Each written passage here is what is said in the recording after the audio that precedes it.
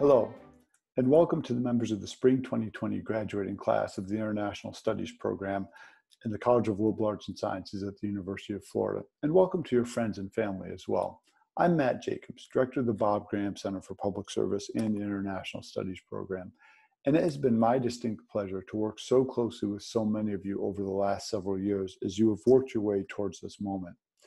You should feel both tremendous pride and joy in this accomplishment as it marks the passing of one phase of your life and the start of a new phase of your life.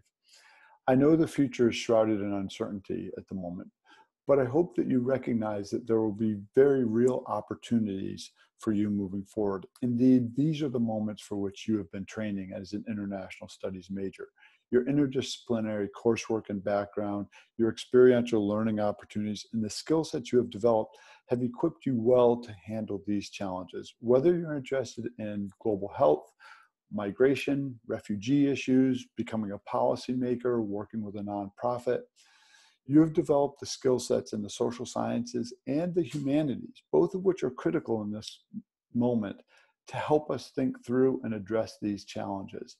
I know they may seem daunting, but no class has been better prepared to address these sorts of moments than yours. I hope you embrace them, and I look forward to working with you as you continue to move forward in your careers. We stand ready to assist you in any way that we can, and we're also ready to welcome you back to share your stories as you work through these challenges and opportunities in the years ahead. Congratulations and go Gators.